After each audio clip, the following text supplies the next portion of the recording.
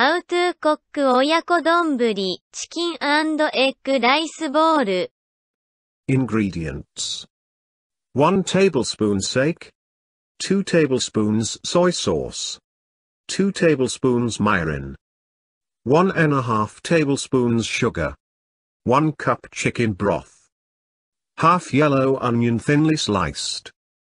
2 small boneless, skinless chicken thighs, trimmed of visible fat, and meat cut into bite-sized pieces.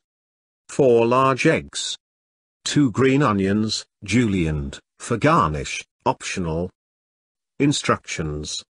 To make the sauce, in a small frying pan over medium-high heat, combine sake, soy sauce, mirin, sugar and broth and bring to a simmer.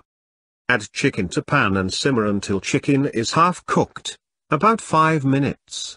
Add onion, and cook until chicken is cooked through and onion is soft, about 5 minutes longer.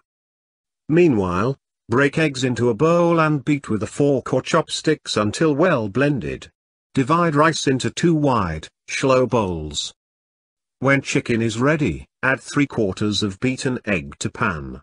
Cover, and cook until egg has just set, 4 to 5 minutes.